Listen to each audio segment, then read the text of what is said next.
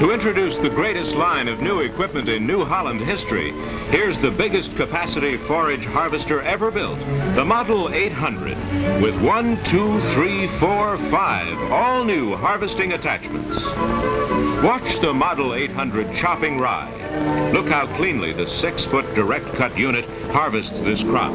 This champion welcomes a job in extra heavy alfalfa, or even tough pangola grass, too. That belt-driven four-bat steel reel lays the crop over the cutter bar at just the right instant for a clean, sure cut. You can really move fast without missing any of the crop.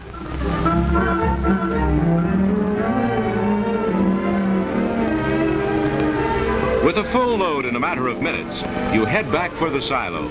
You're pulling New Holland's all-new multi-purpose three and a half ton forage box. And at the trench silo, you have yourself the easiest kind of unloading you could want. Fast, smooth, and perfect for packing. No trench silo? All right. How about using the bunk feeder attachment to pour that chopped crop into the new Model 21 hopper blower? Want to cover even more ground?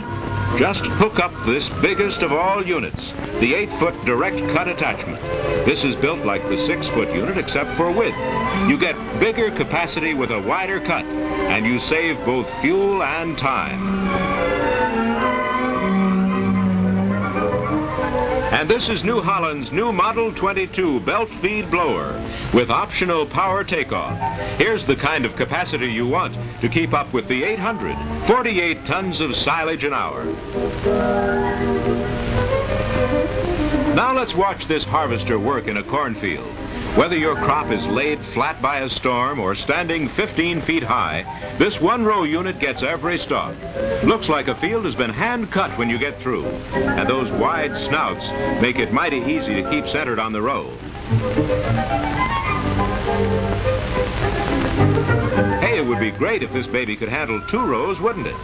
Well, seeing's believing, they say, and farmers who field tested this two-row unit say you have to see it to believe it. They said there just isn't any faster, easier way in the world to clean up a field of corn. Or a field of windrows, for that matter. This pickup attachment handles windrows as heavy as you please. Here's the same design of pickup found on the famous New Holland balers. And that means gentle handling of your crop. More of the feed value getting back to barn or silo. Your 800 works like a horse, no matter whether it gets its power from engine or tractor power takeoff. And the same thing's true of the 800's time-tested brothers, the rugged, dependable New Holland Model 601 and 611 forage harvesters. Engine Model 601 or Power Takeoff 611. In standing crop. Row crops. Or handling windrows. There's a New Holland forage harvester built to do a better job for farmers who don't need the bigger capacity of the 800. One of these was built for you. One of the 16 champion engine and power takeoff forage harvesters by New Holland was engineered with your job in mind.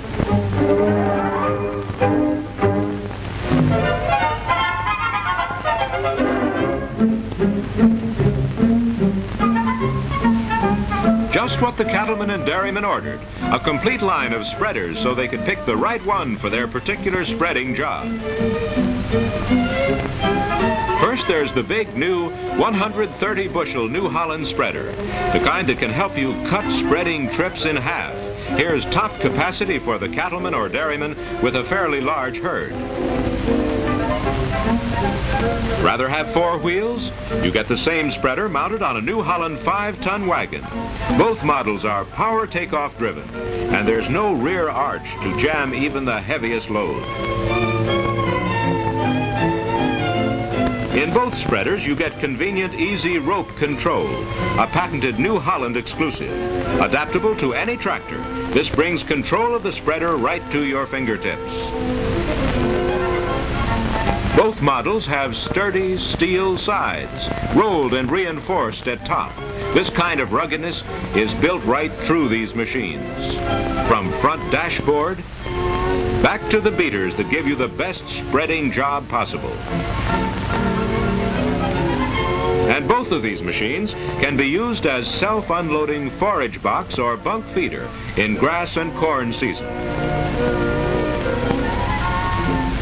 Now, if you'd rather have a fast, sure-footed, 100-bushel spreader, take a look at the New Holland 200. Whether you pick ground drive or power takeoff model, you're getting a lot of machine built to spread manure where, when, and how you want it.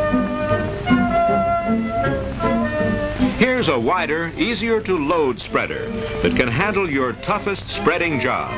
Low loading height, widespread paddles angled for better distribution, heavier construction with steel sides, and dense Georgia pine floor and sideboards. These are the features you like to find in a spreader big enough to cut down on your trips to the field.